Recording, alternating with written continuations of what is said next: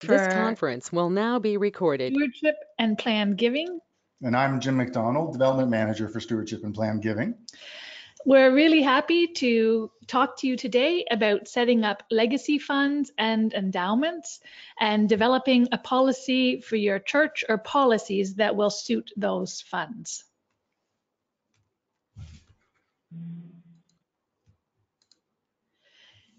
Just a note that this webinar is brought to you by the Presbyterian Church in Canada with support from Gifts to Presbyterian Sharing. So thank you for your continued support of our common mission and ministry together through Presbyterian Sharing.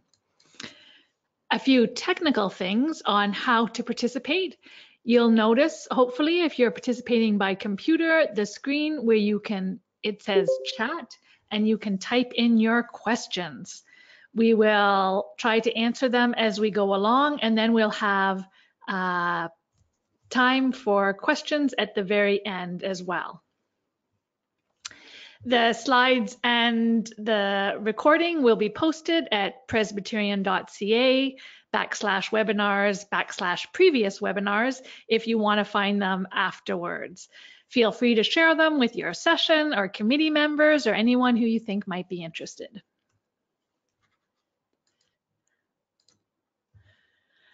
Okay, so we're going to be talking about endowment and legacy funds and possibilities for your congregation.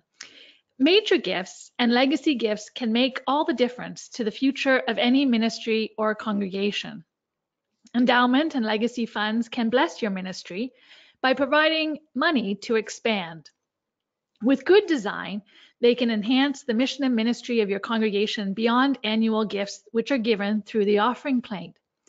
Some people in the past have been cautious about them undermining current gifts or propping up a congregation which is really no longer functional. And we'll try to talk about that during this webinar.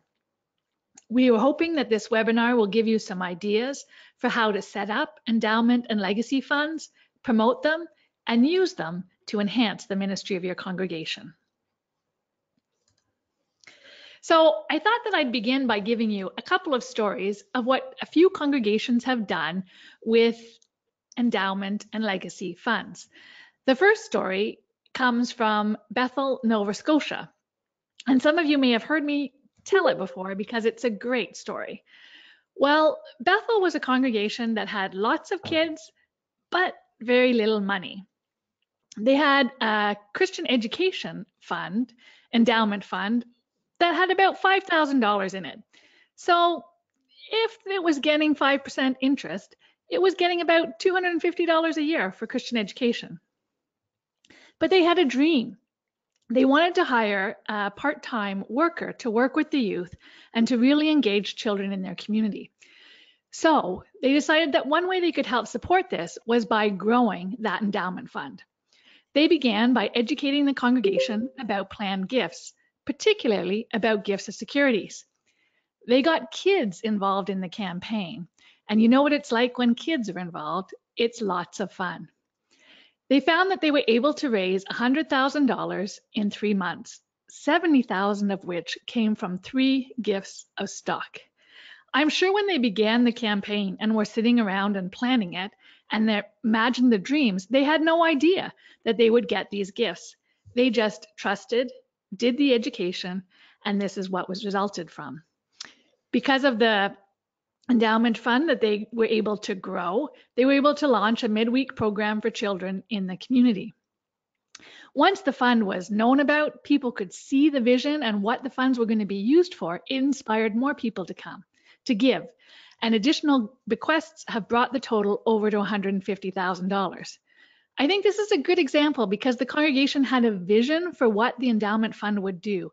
And once they began to share it with the congregation together with education, it grew and is now accomplishing what they hoped that it would do.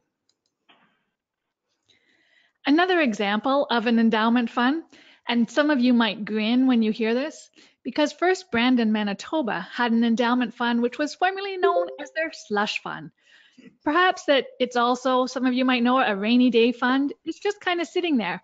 No one knows exactly what they're going to do with it, but they're like, we know it's there. It'll be helpful for a rainy day. Well, it wasn't growing, not doing much, so they wanted to revitalize it.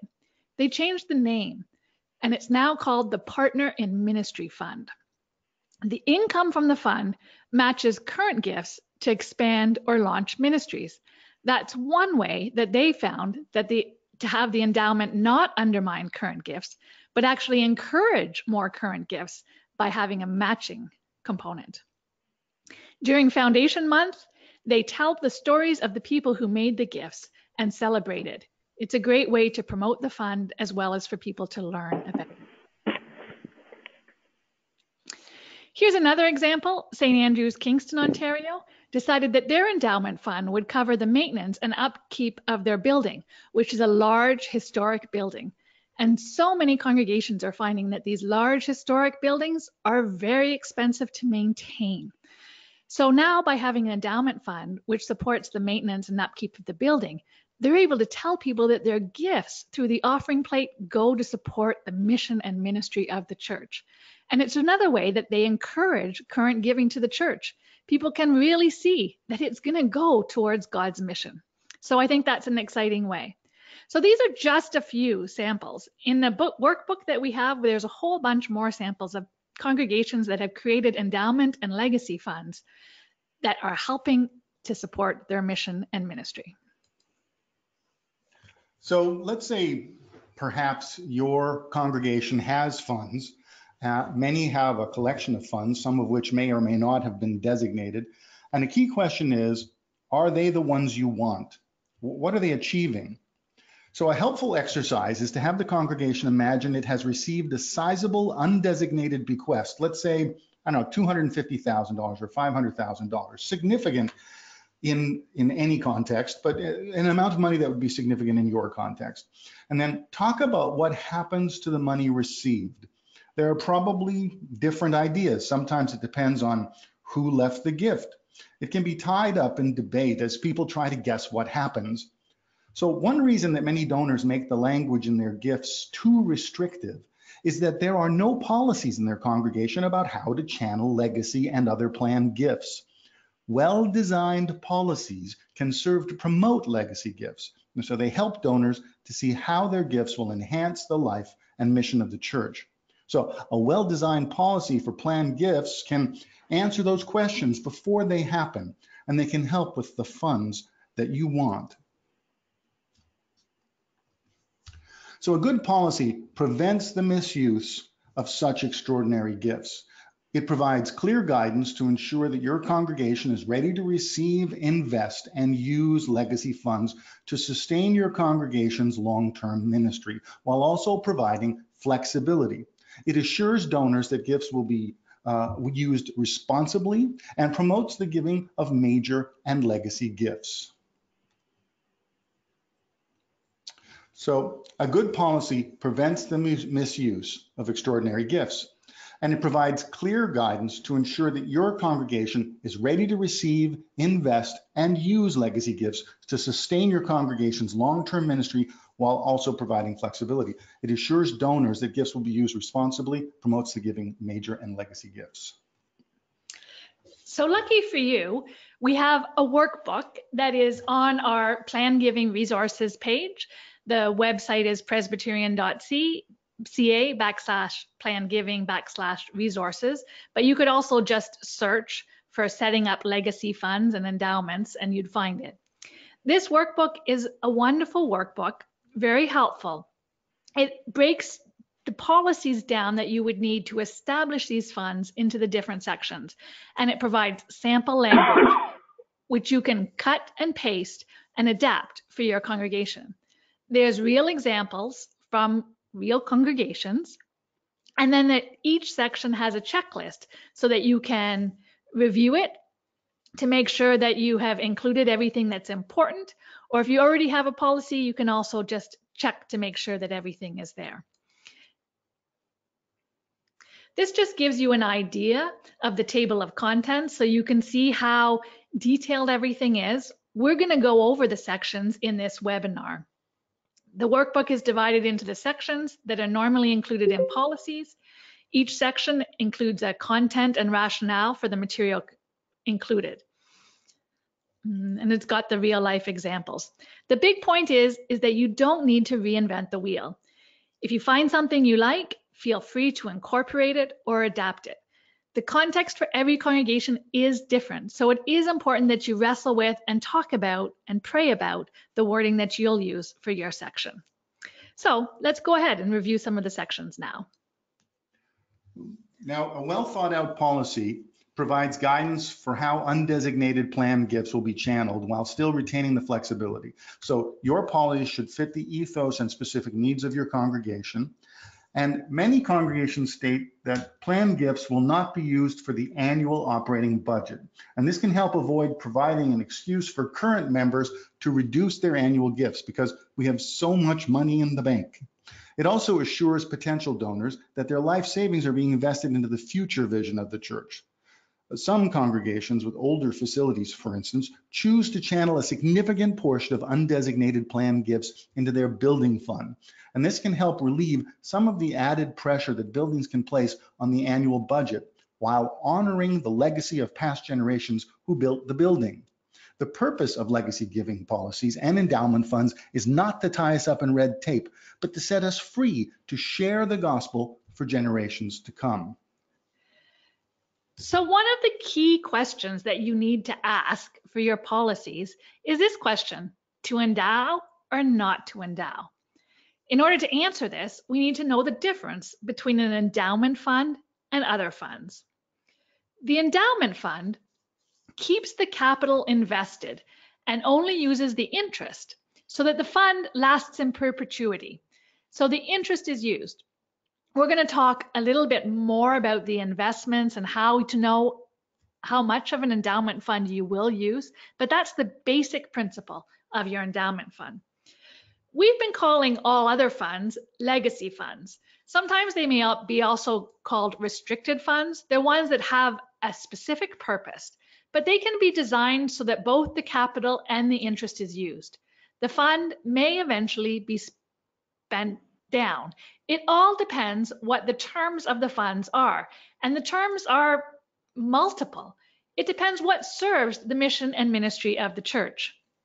So the question that you need to ask is, do we want a large capital tied up and not used in ministry? Well, if it's gonna, if the interest is gonna be enough to support and be significant, it can really help enhance your ministry. Or do you want to say, we want a fund that we can use as we need it to invest in future ministry of the church? There's different options. And some congregations opt for a blended approach where they have an endowment fund and they have other funds that are used with different terms. So, or sometimes they'll have, if an undesignated gift is given, some people will decide some of it will go into an endowed fund and some of it will go into a fund where the money can be used immediately. So you can really look at and decide what will work for your congregation. Let's go to the tale of three churches. So here we have three different churches. So one example is St. Columba Church in Parksville, BC, that decided that no portion of undesignated planned gifts will be endowed. They adopted the policy of tithing all of the undesignated planned gifts they receive. So one tenth is used for outreach, with the remaining 90% retained for special projects beyond the operating budget approved by the congregation. Each year, the congregation has the happy task of figuring out how to give a percentage of their wealth away on special projects and mission beyond their walls. Another congregation whose general endowment fund has been sufficient to meet their ongoing maintenance, maintenance costs adopted the policy of channeling all undesignated bequests and other planned gifts into a newly organized growth fund. Money in this fund is not endowed, but can be used in its entirety for new ministry initiatives both within and beyond the congregation. The minister noted that knowing the money was to be used to grow the congregation's ministry and outreach brought a new spirit of possibility thinking in the congregation, providing the resources to turn dreams into reality. We became less focused on our own survival and more open to where God's Spirit was leading us, he says, knowing that God had already provided the resources we needed to move forward. Finally, we have an example, Church 3. Like St. Andrew's Kingston, It has an endowment fund which takes the pressure off the budget for the maintenance of an old historic building and uses the donors, uh, uh, sorry, and assuring donors that offerings go to mission and ministry. Now, some congregations may have all three funds, and people may choose to leave gifts for the funds depending on their purpose and function. Your planned giving policy is what to do with undesignated bequests or gifts made to the church. How does the church want to handle them? Smaller congregations may want to have one main fund, and that is the fund you are actively promoting because you want gifts to go there and for it to grow. You can use the workbook to create the policies for any of the types of funds. We will focus on the policy for your undesignated planned gifts. So let's talk about some definitions. In all these instances, it's important to clearly define what your terms and phrases mean. So the workbook begins with a section on definitions. Now, some congregations have approved the establishment of an endowment fund, uh, only to discover that some in the congregation are shocked when a bequest is received and that the policy that they have just adopted only allows for the earned income, not a portion of the principal itself, to be used for the needed project. So when you talk about using the annual income for ministry and or capital projects, do you mean only the interest earned from interest-bearing bonds or GICs, the interest plus dividend earnings from stocks, or the overall return of your investment portfolio, you know, interest, dividends, and capital gains? Even familiar terms such as mission can be interpreted different ways. Does mission refer to only outreach beyond the congregation? Or does it include uh, all ministries and programs in service to, of your congregation's mission and uh, a variety of ways resulting in potential confusion and conflict down the road. Uh, the greater the clarity uh, you, you provide, the better. So there are sample definitions provided in the workbook, and you can use these to begin to create your policy and use the definitions that are important to you. So for example, begin at the very beginning by stating what an endowment is, then define what the annual income is and define what you mean by mission. So just have a section in your policy that strictly deals with definitions. Okay, so next section, a preamble. A preamble gives the background, rationale, and biblical and theological basis for your fund and can help the members and supporters of your congregation understand the difference between the legacy fund, which is there for the long-term ministry of the church, and the money offered Sunday after Sunday, which is used for the annual operating budget. The preamble should clearly indicate that the fund has been established to serve the long-term mission objectives of your congregation and as an aid in growing generous and faithful stewards. By including the theological and biblical underpinnings for the fund, the preamble helps the congregation understand that the legacy giving program is rooted in fundamental Christian stewardship principles. It includes information that will be used in ongoing teaching and preaching about the ministry of legacy giving in your congregation. Want to go? The next section, the next section is looks at the purpose and the objectives of the fund. So there's some ideas in there to really help you figure out what do we want this fund to achieve. And you're basically explaining why you've designed the fund the way that you've designed it and why people will want to give it give to it. So be sure that the your purpose and your objectives are succinct and as clear as possible. The in the workbook you'll find uh, this information will be included in the promotion of the fund. So probably the wording that you used here could be lifted out and put in brochures, newsletters, on your website, in announcements for worship.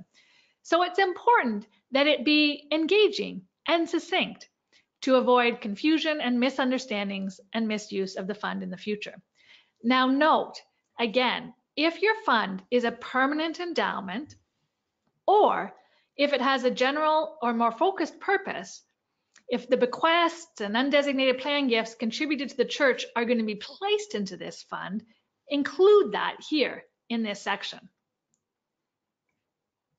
The information included in this section not only guides the session and congregation in how to receive, invest, and use such gifts, It will also serve as a guide for prospective donors considering making a planned gift to the church. Like, as we said, there are actual samples in the workbook. And we're only showing you this to show you that sample wording is provided for legacy and endowment funds as the purposes are different. Yeah, so this one looks at the legacy fund purpose and objectives, and you can see it's pretty succinct, um, that it's set up to sustain and enhance the long-term mission of the church beyond what would normally be possible through its annual operating budget. Um, it says that the fund will be invested and utilized um, as follows. So you'd go and you would outline all of that. Now this one is just a legacy fund. This one isn't actually an endowment fund. So the next one is your endowment fund. So this is would really elaborate and say that this is explaining the more permanent nature of the fund and that it will help the church continue its ministry far um, beyond the donor's lifetime. It'll talk about the annual income, which can be used and what it can be used to do. So when you look in the workbook, just be sure to, to see what will suit the fund you want to create. If you want to create an endowment fund, that's wonderful. Use the endowment language. And if you're looking to do a legacy fund, one that's not permanently endowed, then use some of the language from the legacy funds. So the structure and composition of legacy funds can differ significantly from congregation to congregation, depending on the purpose of your legacy giving program and the kind of funds your congregation already has in place. Now, under fund structure and composition is where you, you explain how the structure fits the fund. And it's crucial to differentiate the legacy fund from the operating budget account, both for investment and ministry purposes, and also for communication purposes. People need to understand that the money they give to the church through the offering plate is intended to be spent in the year their gifts are made, whereas the money contributed through bequests and other legacy gifts will be invested in a separate fund for the long-term life and ministry of the church. To help people relate, the general operating account of the church can be described as being like a checking account for current expenses, whereas the legacy funds are kind of like an RRSP or RRIF, a RIF for long-term financial support and security people are usually able to understand that distinction. Now, here's a couple of examples of uh, fund structures. In the fund structure, oh, wait a minute. Uh, in the fund structure, congregations establish broad guidelines or percentages for how legacy funds will be apportioned and used, and donors can leave an undesignated gift knowing that it will be apportioned to the unidentified categories. So here's the examples. Here's example one. You might have three structures within your fund. Different percentages may be assigned to each. Someone may choose to designate their gift for one or more of the broad purposes identified in your fund. But this helps prevent donors from making gifts that are overly restrictive. If, over time, one category becomes fully funded, the session and congregation has the option of changing the percentages or altering the categories for further gifts. Now, it is important to decide whether any undesignated legacy gift given to the church will be fully endowed or whether some or all of the principal will be available as needed. So many congregations opt to allocate a percentage, let's say 50% of any undesignated planned gift into their general endowment, while the remainder is apportioned to broad categories in which both the principal and the annual income are available as needed. Now, just note that some congregations already have a number of special funds and trust funds in place. Perhaps yours does. So you need to think about how your legacy fund is going to relate to those funds. In some instances, some of the funds may become sub-funds or sub-accounts in some of the larger categories that you use to help establish your legacy fund you kind of have to go back to that question we asked at the very beginning. If somebody was to leave a gift of $250,000 undesignated to your congregation, how would you like it to be used? What you're doing here is creating your fund structure. So if we were to use this example and say that this was the fund, you'd say, okay, that $250,000, 100, um, 125,000 of it is going to go into the general endowment. And there the capital will be preserved and the income will be used to fund mission and ministry. Then you'd say 10% of it could go immediately to enhance the facilities of the church and be available for your building committee to decide this year and next year what they want to do with it. So 10% of $250,000, that's $25,000. Then you could say 30% would go to ministry programs within the church. So that's $75,000 is immediate, available immediately for the congregation to use. And then you could say 10% or $25,000 would be available for outreach beyond the congregation. You might even have a process where committees or groups could apply for those gifts. But it's the gifts, the mission and ministry out in the community, doing something really outside. Now, if you were working this through, you might go, hmm, wow, $75,000 for ministry programs within the congregation, that would overwhelm our congregation. Maybe these percentages don't quite work out. And so you can play with them and you might decide, actually, we want the general endowment to be 60% or 70% of the gift. But that's where using some tangible numbers and sort of thinking it through can help you build this structure. What's important is that you want to have the capacity to use the funds in a way that will enhance your church's ministry into the future. And that's why the workbook is so useful because you, you're given language that you can use. For instance, here's an example of, of some of the cut and paste options you might want to consider. And you know, you try to be as broad as possible when, when you're writing these things. A useful case study is St. Andrew's Presbyterian Church in Orillia, Ontario. They had a history of receiving many bequests, some which were for funds designated for specific purposes. But there was a lack of clarity, however, whether some or all of the trusts were to be treated as endowments, whether the principal and income could be used. But as a result of the leadership, the church developed clear guidelines and established a clearer fund structure. So there was no confusion. And when the gifts came in, people knew exactly what they were supposed to do. Okay, so how are we going to administrate the fund? The day-to-day management is normally placed in the hands of a committee appointed and or elected for that role. So the role of the committee is to watch over the funds and manage disbursements. Many congregations often assume that such funds should be placed in the hands of the congregation trustees, but PCC policy does not so specify. And it's not helpful if the office of congregational trustee is an honorary role in which the office holders are reelected year after year. So care should be taken that the committee does not usurp the proper authority of the session or congregation. The number of people serving on the committee can vary depending on the size of the congregation and the fund. Usually five to seven members are sufficient. There should be some system of rotation on the committee so that the membership does not become entrenched or static.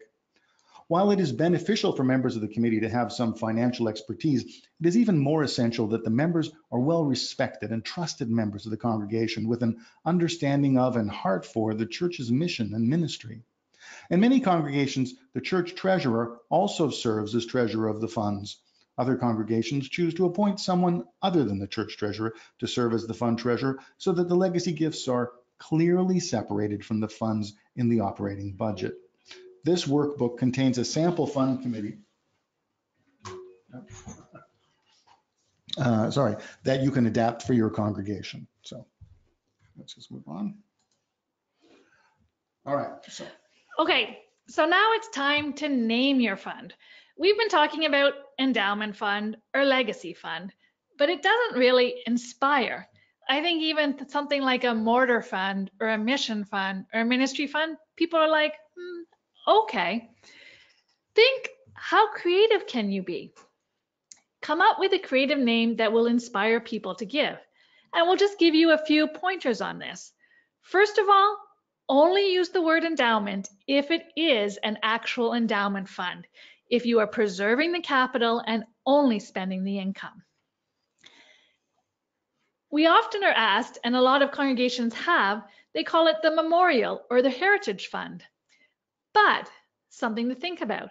Memorial or heritage kind of implies that the fund is about the past, when really we're talking about is the future of the church. So we want to be sure that we're not limiting the scope of the fund.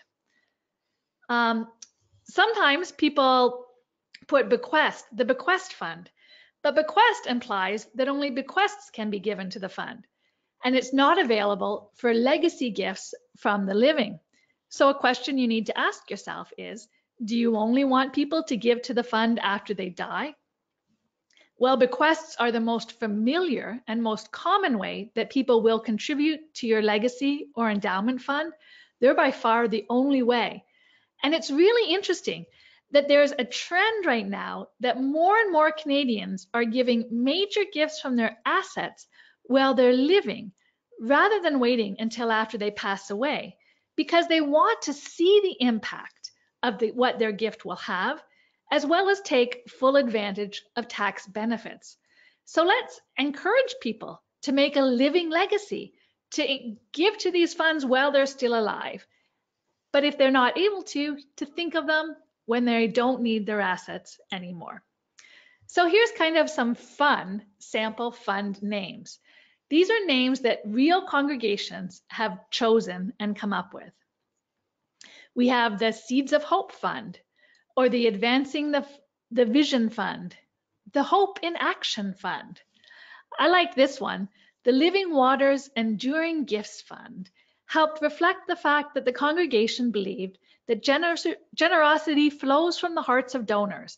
Contributing to this fund has its source in the same life-giving spirit Jesus was offering when he said, out of the believer's heart shall flow rivers of living water.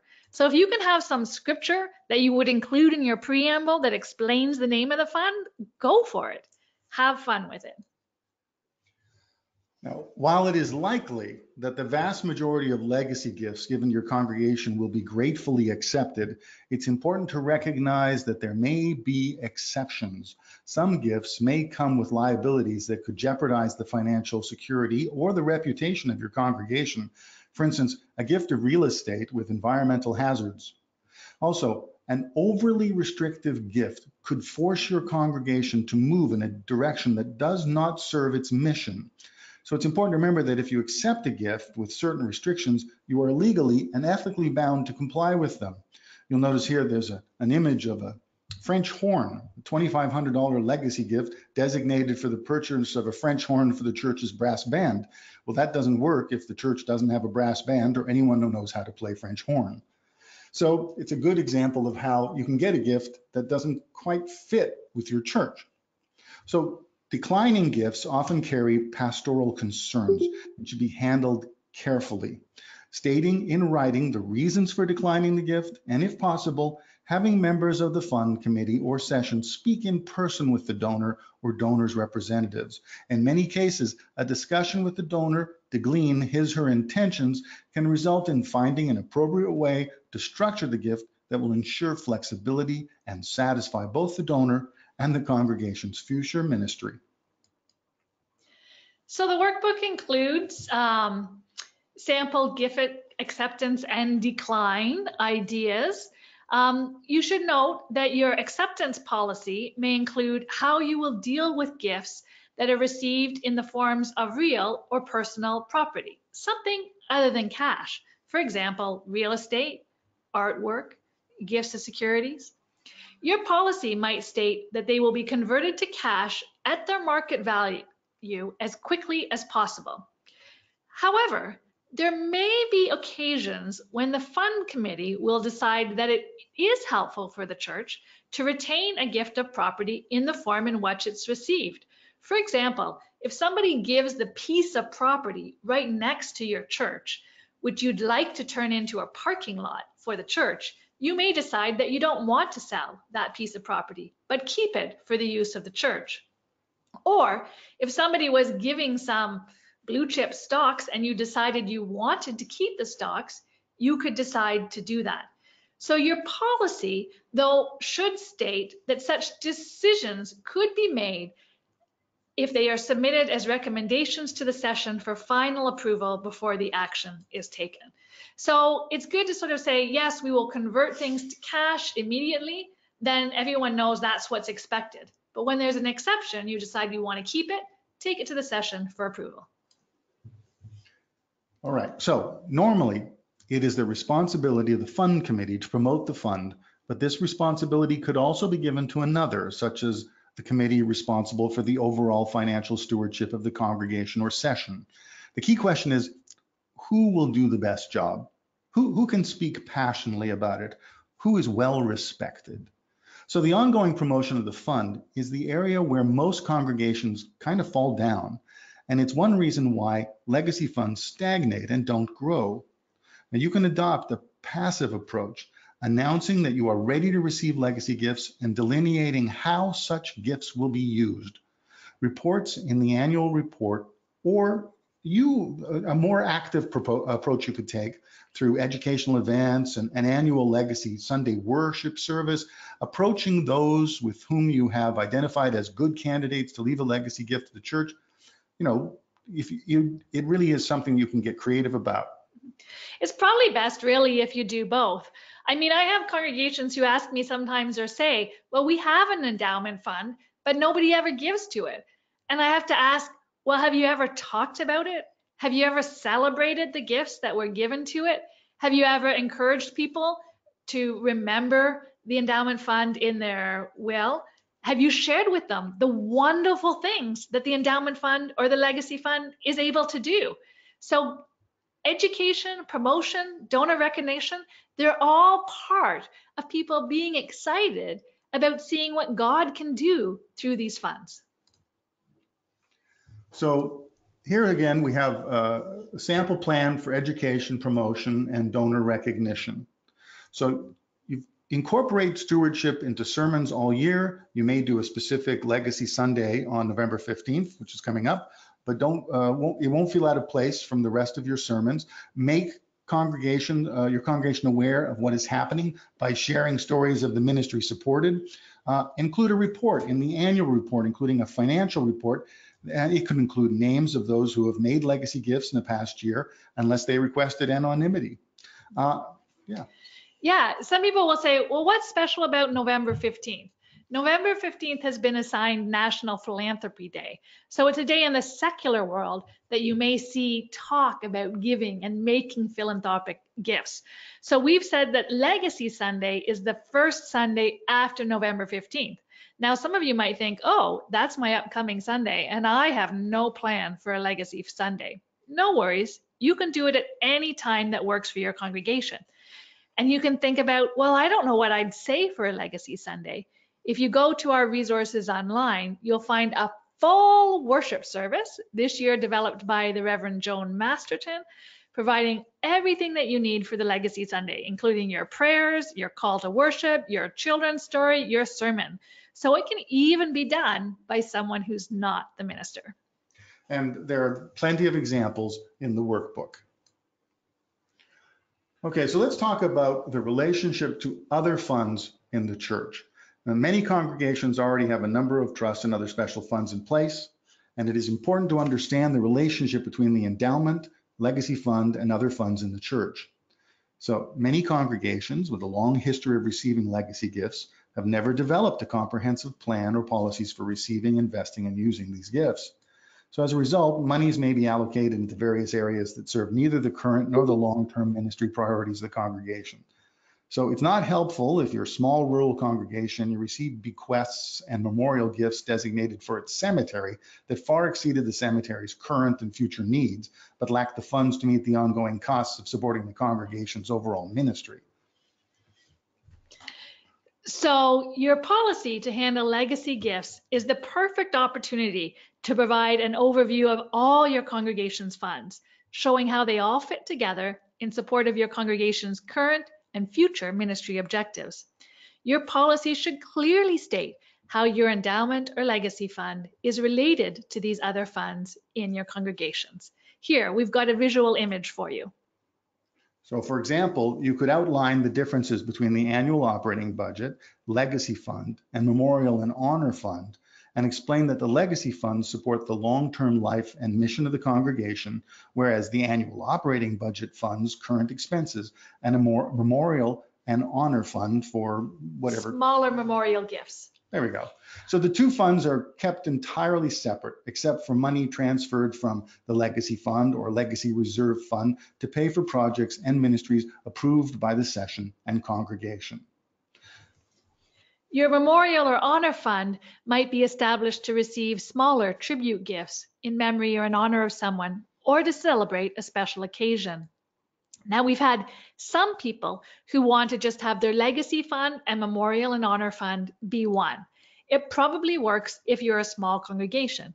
If you're a larger congregation, your memorial and honor fund is really for smaller gifts under a $1,000, and your legacy fund is really for encouraging the larger gifts, $10,000, $50,000 a year, where they're given in memorial or honor, but it's a larger gift.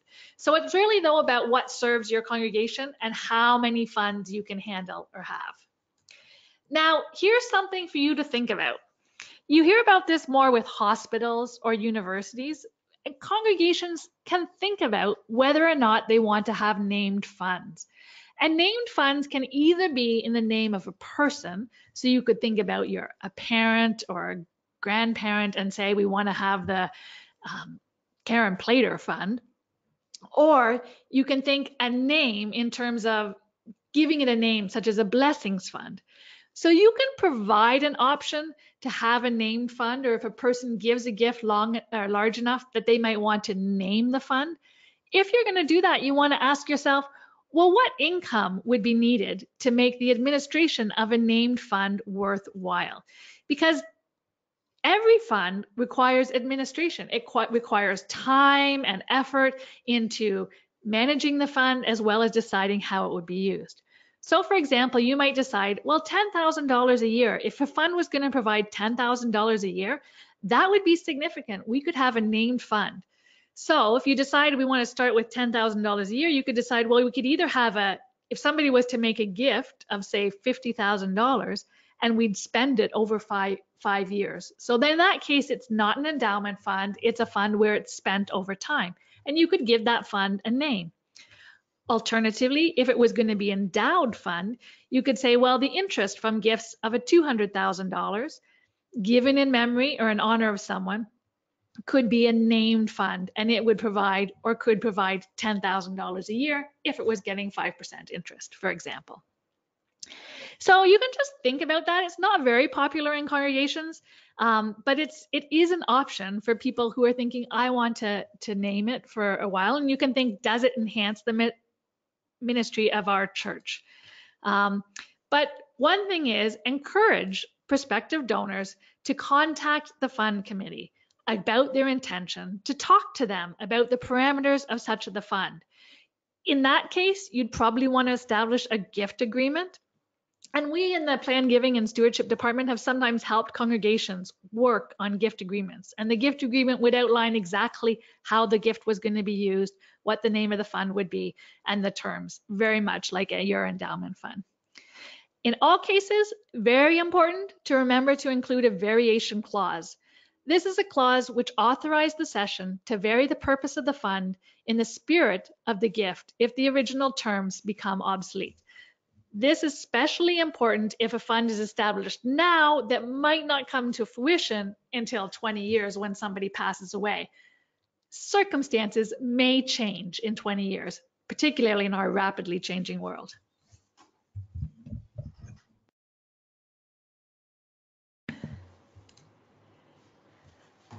Hi, so let's uh, talk again about a congregation exercise. You go back to the beginning and you reimagine your undesignated bequest and follow it through your policy. So some congregations have adopted policies and then discovered that people were operating on different assumptions and understandings. And these came out when they actually discussed how they thought a specific gift would be handled. Remember, the purpose of the policy is to prevent potential areas of confusion and conflict, not add to it. So clar clarify these procedures beforehand. Simple flowcharts to demonstrate the decision-making process and lines of authority in handling planned gifts can help. So let's talk about your spending policy. How are the gifts going to be spent? Well, what's your fund going to achieve? if your endowment fund is going to provide a dependable source of annual revenue. It can help support the annual budget if that's the intention of the fund. But mostly you're looking at ways that the funds can, sus can sustain and grow the church's mission for the future. It's very important that you have annual guidelines for spending. So one thing, particularly if it's an endowment fund, you need to say, how are we going to fund the spend the income? Are we going to spend, for example, the annual yield, which is your dividends plus your interest? Or are we going to look at the total value of the fund? So sort of your yield plus a capital appreciation means that you allow the fund to grow each year a little bit to, in order to uh, counteract inflation or the percentage and total value. So sometimes people will figure out that we're going to do um, five to six percent of the three to five year rolling average of the fund and that that's how much is going to be spent. If you're going to do that, you reevaluate that every three to five years or so to see are we is the fund eating into the capital? Is it beginning to disappear? Or is it maintaining its uh, value? And in fact, even you might want it to grow in order for inflation.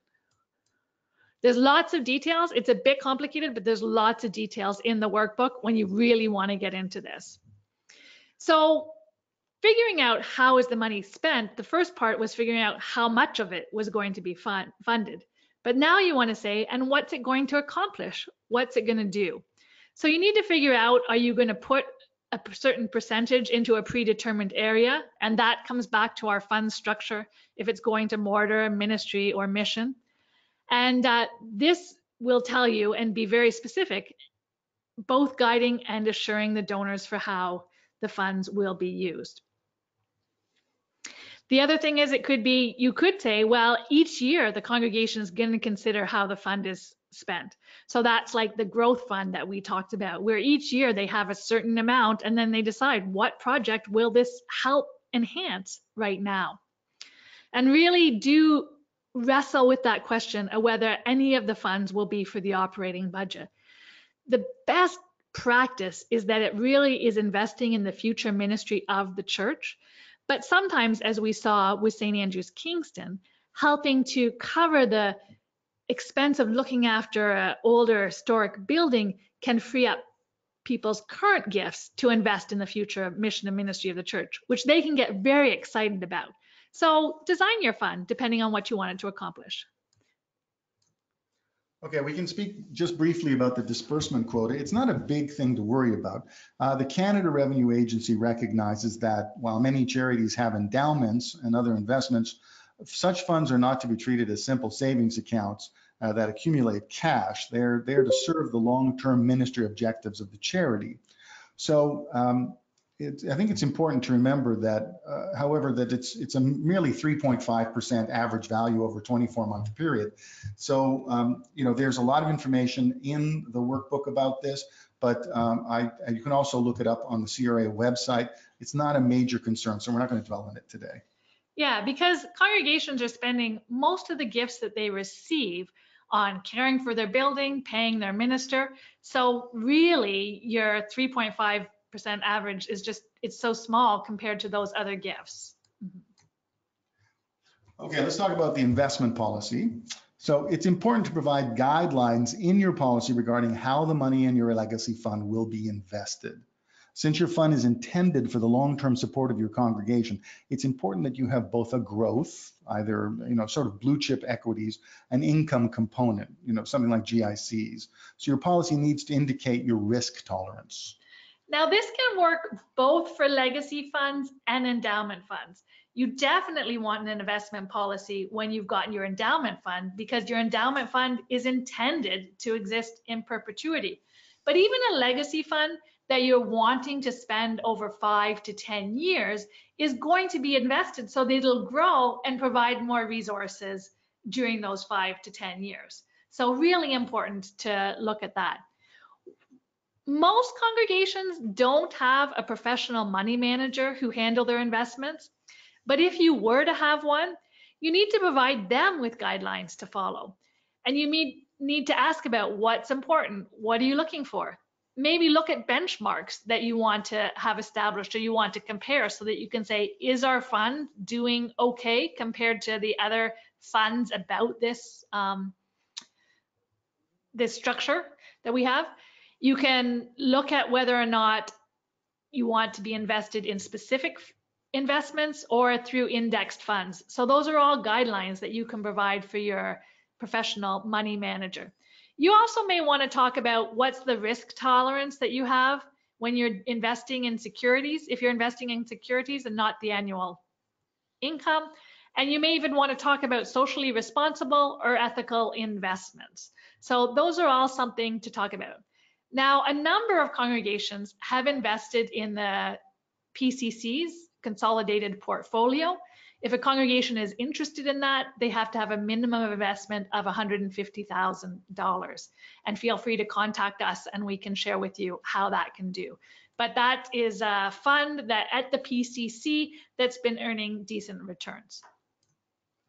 Okay, so folks are going to want to apply for funding. And if committees or organizations within the church can apply for funds, it's helpful to have clear procedures in place regarding how applications will be handled. You may need a, a method of reporting and or evaluating the outcomes and or benefits of the funded projects. Some congregations specify that only groups or committees within the church can apply for funds. So if individuals apply, those applications must be channeled through an established group in the church. Hmm. This um, example comes from our Stewards by Design in 2018. Chippawa Presbyterian Church just shared an example that I thought was good to articulate their spending policy formula. So they decided that they do 4.75% of their five-year rolling average of year of the year-end assets. So they take how much do they have in the fund at the year end, and they take 4.5% of that, and that's what they have um, available. So they, while they take the, how much was a, in the, eh, what's the average of the five years at the year end?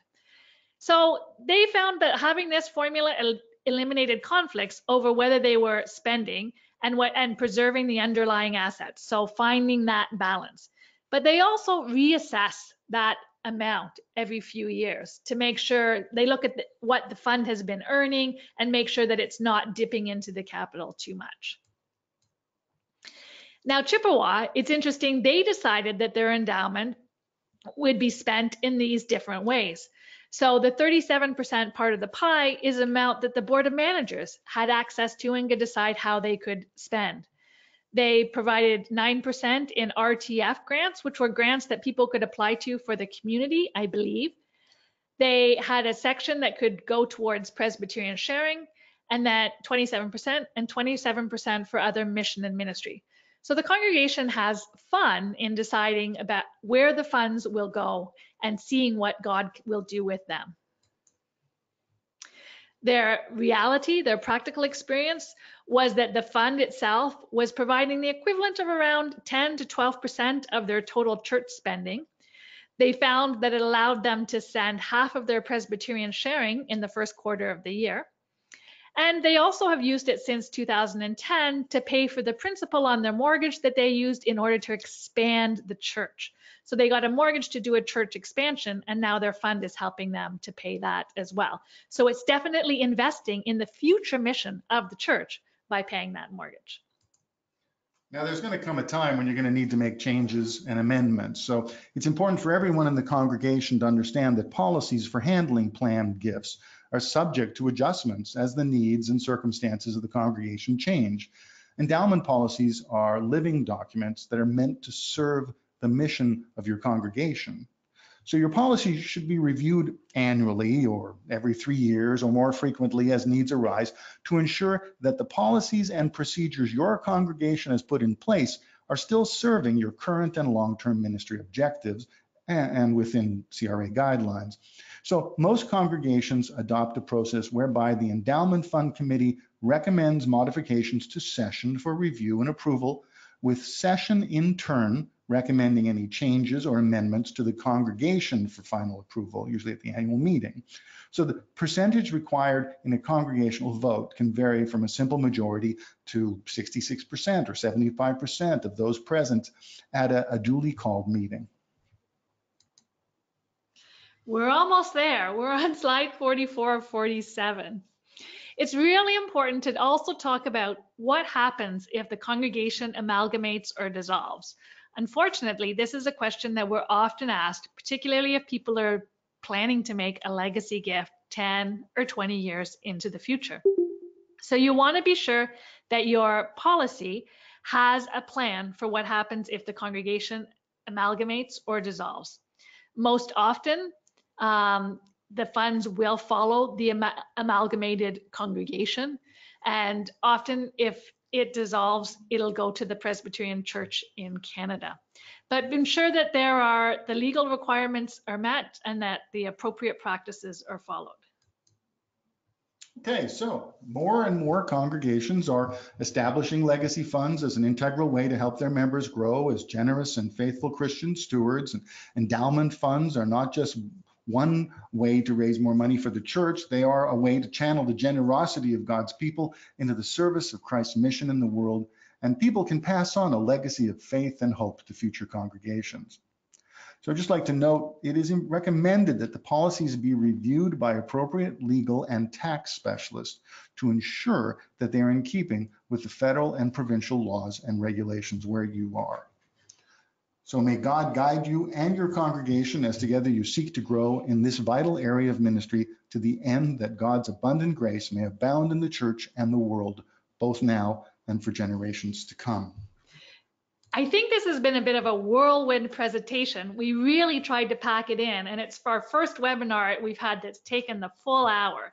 But if anyone has any questions, feel free to type them in, and we're happy to answer them for you now.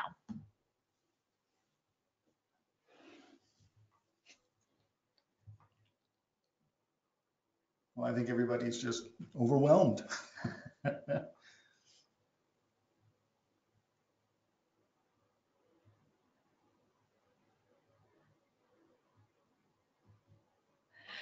We are also happy, we'll stay on for a few more minutes, but we're happy to take any questions that you have when you're creating your endowment um, and legacy funds in the future. We're happy to look at sample ones. We're happy to see them once they get approved. We're going to review and expand and uh, continue to develop the workbook that we have. It really is a living document. So as we get more examples, we're happy to include you. If you've got a story of what really works well in your congregation, feel free to share it with us. Oh, yeah, we'd love to hear it. We'd love to share it. We'll we'll get it into the newspaper. We'll we'll spread the message. We really want to see what God is doing with the gifts that have been given. We're getting a few thank yous coming in in the chat. Thank you very much. You're right welcome. Yeah. Great. Well, good luck and let us know what happens and what you do. And remember to download the workbook from uh, Plan Giving Resources. Oh, a computer, somebody wants to know what's the link to the website where all of this is. Sure, we can go back to that. You want me to fly backwards? Yep. Okay, there you go. Whoop. I'll get the. Can you do actually? Wait, wait, wait, wait, just a sec, just a sec, just a sec. Oh, see all slide? Oh, there they are. Oh, there it is. Download the workbook, Okay, number 45. There we are. there's, oh, that's the workbook, but actually where the webinar is at presbyterian.ca. Oh, yeah. That's at the very beginning. That's it. There we go. You can find this webinar if you want to watch it again. Um, just type in webinars or previous webinars on the Presbyterian website and you'll find it. But there's the link for you there. Hey, thanks everybody for joining us. And we're really glad you're able to, to join in and do call us anytime. There we are. Thanks, James.